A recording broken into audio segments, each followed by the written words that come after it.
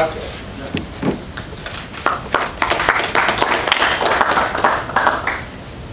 is quite heavy. I, I think General Mbadi will fall under the establishment.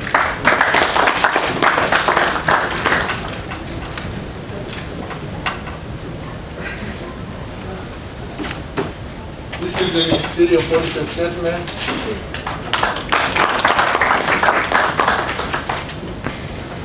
This is the overarching uh, NDP 3, National Development Plan.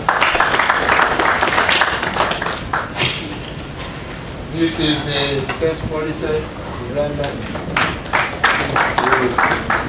These are the car.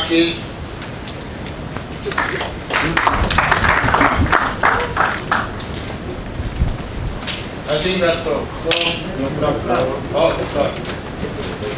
This is the joint services flag. Ban, ban, Ban. ban, ban, ban, ban, ban.